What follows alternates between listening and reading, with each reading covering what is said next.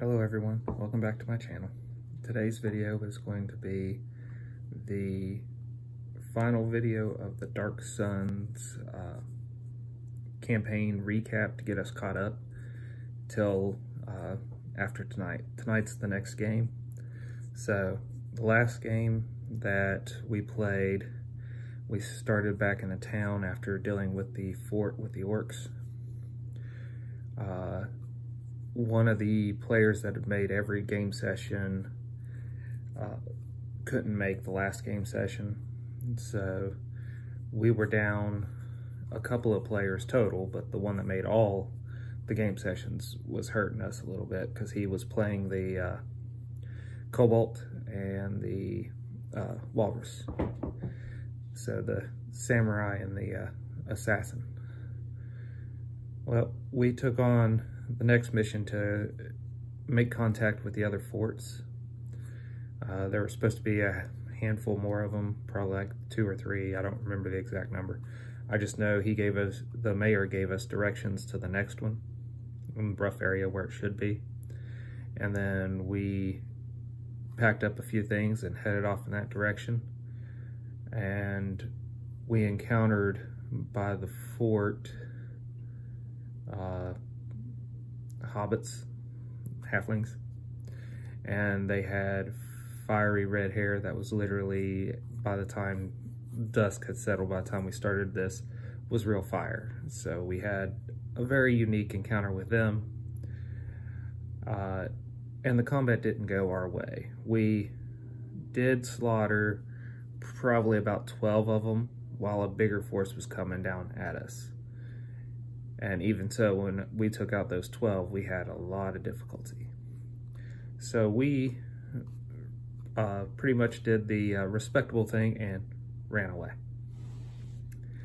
Uh, after running away, we find ourselves in an area of the forest that we've never been in before. That's dotted with ruins all around us. Uh, we end up exploring a ruin and finding a treasure chamber and he describes it as a big chamber where everything is extremely oversized and everything's gold, silver, jewelry, big weapons, lots of marble statues, big hole in the center of the room. Uh,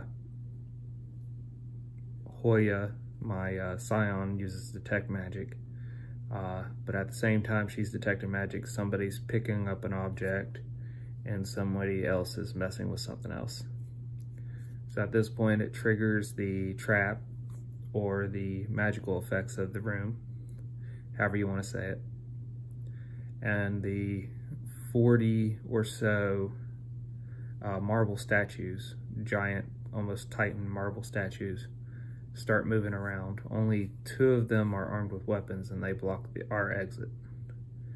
Uh, taking this as a cue that we're not going to win, I use uh, Ort, my Oread fighter barbarian, to go wrestle one of the statues and try to knock it in the hole. I figured if I could win, it would probably win with uh, one or two successful grapple checks. And uh, although I was successful in my grapple, he was more successful in his natural 20. So I ended up in the hole pretty quick.